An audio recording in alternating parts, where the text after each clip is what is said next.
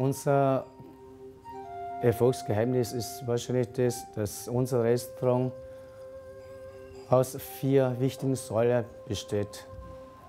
Für mich ist die erste Säule die Qualität der Küche und die zweite Säule ist äh, die äh, Effizienz und das Zuvorkommen des Services.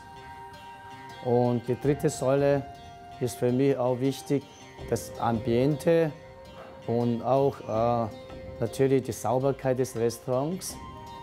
Und die vierte Säule ist die Kommunikation mit den Gästen. Zwei Michelin-Sterne.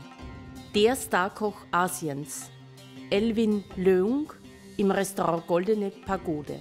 I call this extreme Chinese, okay? Uh, extreme in that, you know, there's a lot of Chinese influence um, in all my creation, and I'm giving you a different experience. So it's more extreme, I call it more extreme Chinese infusion.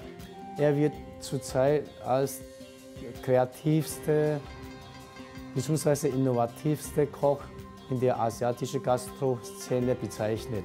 Well, you know, I have many idols, my many idols, but the three main, you know, chef that has influenced me, I've said, was uh, Robuchon because of his heart. I think Ducasse because of his brains, and um, um, Ferran Adria, okay, Ferran Adria because of its courage.